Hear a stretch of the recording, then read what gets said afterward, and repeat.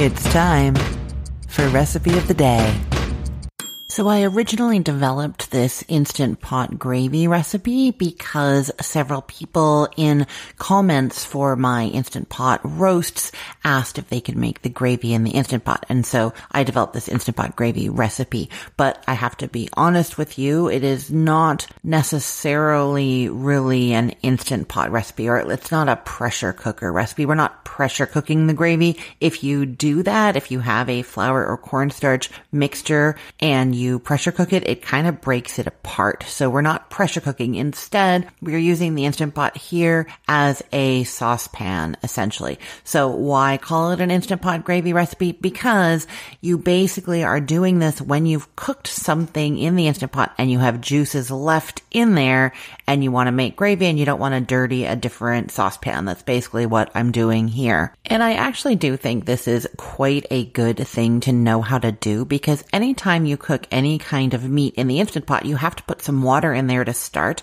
And that water ends up having the flavorings of whatever meats you've put in there. And so quite often, like even if I'm just doing, you know, six chicken thighs in the Instant Pot to cook up for like meal prep, having tacos, that kind of thing, I add the cup or so of water to the bottom of the Instant Pot and I always throw in, you know, half an onion, a couple cloves of garlic. You don't even have to peel any of that. If you're going to be pulling it out later, doesn't matter. Some carrots, whatever. Cook those chicken thighs or if it's pork chops or if it's a roast, whatever that is. And then afterwards, you end up with this really, really deliciously flavored liquid in the bottom of the Instant Pot. Now you can use that as stock or broth to make soup or you can very easily and very quickly turn it into a gravy that is going to be delicious poured over whatever meat you just cooked or saved for another use. You can do that the next day and turn that into a stew. It's just very, very versatile. So I find this easiest to do with cornstarch. So this is a cornstarch gravy,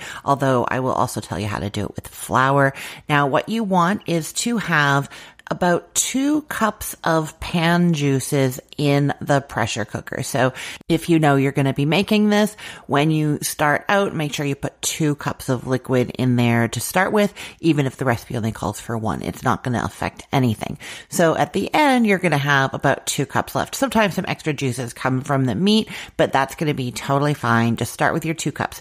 Then off to the side in a small bowl, you're going to mix together a quarter cup of cornstarch and a quarter cup of cold water and just stir that together until they're very smooth and mixed well.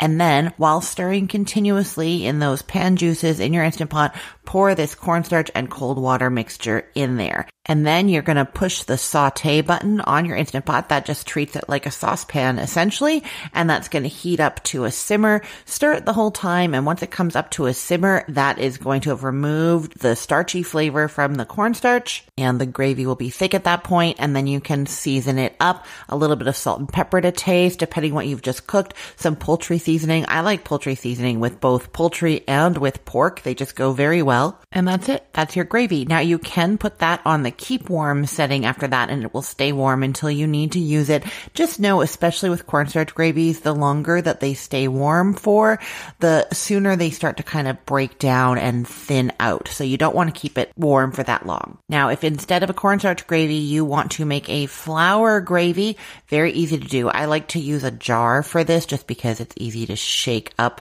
your flour and water slurry. So you're going to measure for the two cups of pan juices in the pressure cooker, you're going to do three tablespoons of all purpose flour and about half a cup of cold water, or you could use stock or broth. That was true for the cornstarch gravy as well, as long as it is room temperature or cold. You don't want to use anything warm. And so you put your flour and your water or stock into a jar, put the lid on the jar, and then shake it until it's smooth. And then you pour that into those juices in the Instant Pot and then hit the saute button, bring it up to a simmer, stirring often, season with salt, pepper, and poultry seasoning, and you've got that gravy. And I will just say that you can make this gravy even if you didn't cook meat in the Instant Pot already. I'm not entirely sure why you would do this, but maybe if your stove is full of stuff, or if you want to make it in the Instant Pot and then know it's just going to stay warm there, that is something you can do. To do that, you can use the pan juices from anything that you've cooked. You need two cups of them.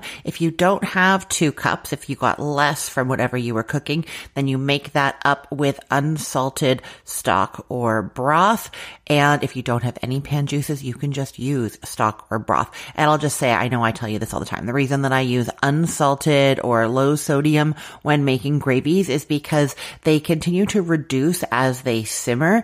And as they reduce, that concentrates the saltiness. So you want to use as little salt as you can in making the gravy. And then you're seasoning it with the salt just at the very end before serving when there is less risk of it getting concentrated any further. So yeah, that's a technique for making gravy in the Instant Pot. Super easy, but super delicious. I will put the link to this recipe in the show notes for this podcast episode, or you can head to cookthestory.com slash R-O-T-D. And while you're there, if you haven't already, you can subscribe to this podcast so that it shows up in your podcast feed, whether you listen on Apple Podcasts, Google Podcasts, you can subscribe right from cookthestory.com slash R-O-T-D, or go to wherever you listen to podcasts and search for recipe of the day there. If you listen on Apple Podcasts, I would love it if you would leave a five star rating and a review there. That helps more people find the show. And I'd really appreciate that. Even if you don't listen on Apple Podcasts, you can go to Apple Podcasts and leave a review there as well. I look forward to reading what you have to say. I'm Christine Pittman from cookthestory.com, thecookful.com, the all new chicken cookbook, and from this podcast, recipe of the day. I hope you have a great day. Let's get cooking.